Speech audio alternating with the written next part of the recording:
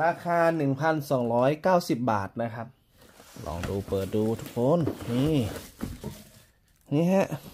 มีเวลาปุ่มเปิดปิดอุณหภูมิมีหมดเลย แบบตั้งเวลา ระดับลม ออโต้โหมดสลิปเนี่ยคือระบบนอนผมค่าเชื้อหนึ่งสองสามมีสามระดับนะครับสามระดับเนี่ยจอสวยครับทุกคน สวัสดีครับทุกคนอยู่กับผมคุณหนึ่งนะครับ วันนี้คุณหนึ่งสั่งซื้อนี่เครื่องฟอกอากาศรุ่นใหม่นะฮะนะรุ่น Oxygen Air นะตรงนี้นะครับ ก็เป็นตามที่ภาพเลย เดี๋ยวเรามาแกะดูว่าอ่าเป็นยังไงรูปร่างหน้าตานะครับ แล้วก็ใช้ดีหรือเปล่านะครับ เพราะช่วงนี้ฝุ่น PM เยอะมากๆนะจังหวัดเชียงรายนะครับ ก็เลยซื้อมาจริงๆมีอีกเครื่องหนึ่งล้วนะครับ แต่แต่ ซื้อมาอีกเพิ่มอีกเครื่องหนึ่งเนะเผื่อเป็นตัวช่วยที่ดีนะครับ โอเค เดี๋ยวเรามาแกะกันครับนะเป็นเครื่องนะรุ่นนี้นะครับ Oxygen Air นะครับ ตรงนี้ราคา 1,290 บาทนะครับเดี๋ยวลองดูแล้วก็มารีวิวสดๆเลยครับทุกคน ง่ายๆ เป็นแบบนี้นะครับเนี่ยครับหนึ่งพันสองร้อยเก้าสิบบาท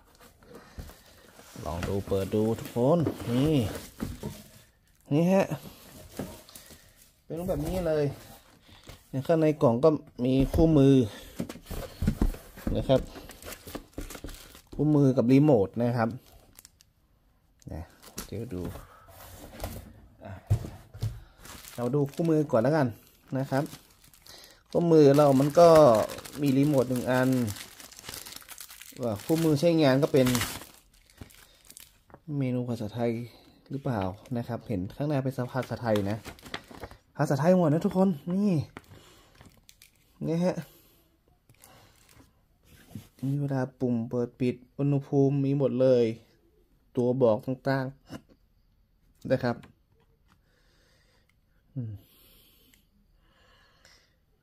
เขาว่าเกรุณาวางห่างเครื่องใช้ไฟฟ้า อื่นๆ ประมาณ 2 เมตรนะครับ โอเค รูปร่างรีโมทก็ แบบนี้ง่าย ๆเลย แบบตั้งเวลา ระดับลม ออโต้โหมดสลิปเนี่ยคือระบบนอน ผมค่าเชื้อนะครับก็ประมาณนี้ นะโอเคเอามาแกะดูซองตรงนี้นะครับ เครื่องคล้าย ๆ เหมือนรุ่นแรกที่ผมซื้อมาเลยเนี่ยฮะ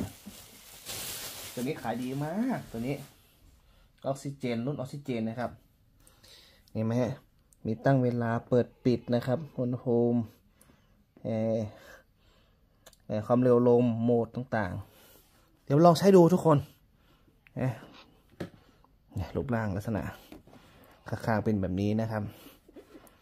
ด้านหลังนะเขามีคำเตือนด้วยนะอะไรเนี่ย เครื่องจะเปิดจะปิดอัตโนมัติ เมื่อเครื่องทำงานต่อเนื่อง 16 ชั่วโมงนะครับ และเมื่อ อะไรเนี่ย การกด restart เครื่องจะทำงานตามปกตินะครับ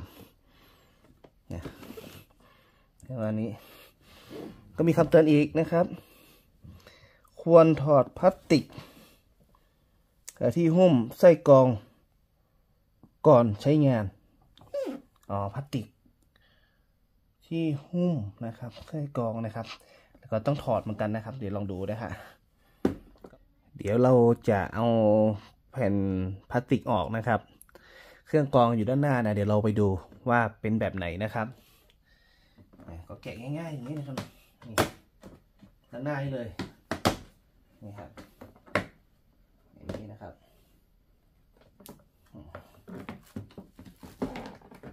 เป็นแบบนี้เลยนะทุกคนนี่ก็เป็นแผ่นง่ายๆครับเนี่ยเป็นฝาเข้างนอกก็เป็นอย่างนี้ เป็นตัวเครื่องนะครับแผ่นจะเป็นแบบนี้นะครับเราเก็บต้องแกะพลาสติกออกก่อนนะเพราะจะฟอกอากาศขออากาศยังไงนะฮะมันต้องแกะอย่างนี้นะครับนี่ไงทุกคน เป็นแผ่นนี้เลย เกิดพลาสติกออกแล้วนะครับนะรูปเป็นอย่างนี้นะครับ เสร็จแล้วเราก็จะเอาใส่ที่เดิมนะครับเนี่ยใส่ที่เดิมง่ายง่างนี้เลยแต่ง่ายดีนะทุกคน แล้วก็เอาฝามาปิดนะครับ ฝาตรงนี้มีก็มีรูตามนี้นะทุกคนอันนี้ก็ใส่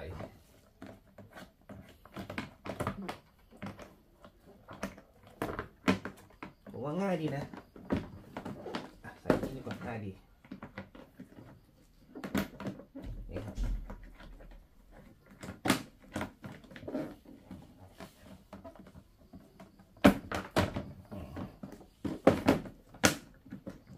ปุ๊บเลยแป๊บเลย โอเค เรียบร้อยนะครับ ก็ประมาณนี้ เดี๋ยวเราไปลองไปเสียบดูนะครับ ทุกคน เดี๋ยวเราจะเสียบสายไฟนะครับ ลองเทสดูนะครับอ่า สายไฟยาวประมาณเท่าไหร่น่าจะประมาณสักหนึ่งเมตรนะนี่ยาวเหมือนกันนะครับ ยาวเหมือนกันเอาลองเสียบดูทุกคน นี่โอ้หน้าจอออกมาสวยนะเนี่ย เดี๋ยวลองเทสก่อนนะครับทุกคน เปิดปิด เปิด โอ้โห นี่ครับ นี่ในปิดอุณหภูมินะเนี่ยดูจอครับ นี่กำหนดตั้งเวลาพร้อมสไลด์มีตั้งเวลาด้วยนะนี่เวลาสองสามน่าเป็นน่าเป็นชั่วโมงแล้วนี่ยครับ นี่ชั่วโมงนะครับน่าเป็นชั่วโมงนี่ได้กี่ชั่วโมงหนึ่งสองสี่ห้าหกเจ็ดแปดยี่สิบหนึ่งเนี่ย ฮารุโหมดครับ มีอะไรบ้าง เขาเรียกเขาลมนี่เร็วขึ้นเนี่ยจะให้เราก็ความเร็ว หรือเราใช้รีโมทได้นะ ทีนี้เราก็ดึงนี่ออกก่อน เพราะเป็นฐานเนาะ นี่ ลองปิดก่อนเนาะ ได้เปล่า ลูกสุวฐานมีหรือเปล่าเนี่ย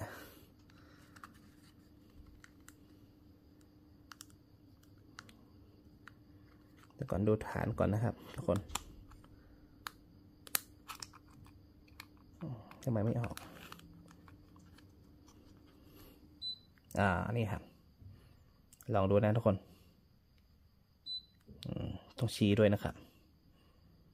ระบบออโต้ นี่ ออโต้เป็นอย่างนี้เลย ระดับ ระดับลม อืม โอ้แรงขึ้นหนึ่งสองสามมีสามระดับนะครับสามระดับนี่ตั้งเวลาหนึ่งสองสามเหมือนเดิม ระบบฆ่าเชื้อ ระบบสลิอ่าระบบสลิปก่อนนะครับ ระบบนอนนะครับ เวลาเรานอนนะ จะเป็นอย่างนี้เลย จะไม่เห็นจอ ถ้าเราเห็นจอมันสว่างทั้งห้องไง เออ ถือว่าดีมากนะทุกคนนะระบบฆ่าเชื้อเอาตัวก่อนเราจะแล้วเราเรากดฆ่าเชื้อ มีหลายอย่าง ง่ายนะ ใช้รีโมทง่ายๆเลย ให้ใครไม่เข้าใจหน้าหน้าจอนะครับนะอะออโต้ครับก็ประมาณนี้รับแรงลมนี่ยเพื่อฟอก อากาศเร็วๆจอสวยครับทุกคนเนี่ยเนี่อันนี้เป็นค่าอะไรนะครับยี่ยี่แปดองศานะประมาณนี้ทุกคน ก็คือซื้อมาใช้ก่อนนะครับ ใครที่เห็นว่าคลิปนี้ออยากซื้อมาใช้ หรือคอมเมนต์มาถามก่อนได้นะ เดี๋ยวผมขอไปเทสไว้ใช้ก่อน ในเบื้องต้นผมก็ใช้กับคู่รีโมทกับประมาณนี้แหละ ส่วนจะดีมากน้อยแค่ไหนเดี๋ยว ก็ใช้ไปสักระยะหนึ่ง ใครที่อยากถามอะไรก็คอมเมนต์มาถามแล้วผมจะตอบแล้วกันนะครับ ว่าใช้เป็นยังไงดีคุ้มหรือเปล่าฟอกอากาศทำให้ดีในห้องดีหรือเปล่าฝุ่นพีเอ็มหายหรือเปล่า หายใจสะดวกหรือเปล่ายังไง ก็คอมเมนต์มาถามแล้วกัน นะครับ ในราคา 1,290 บาท ไม่แพงเกินไป ถือว่าราคาถูกมากเลยแหละ ช่วงนี้นะครับ ไปดูตามห้างนี่ประมาณสี่ห้าพันห้าพัน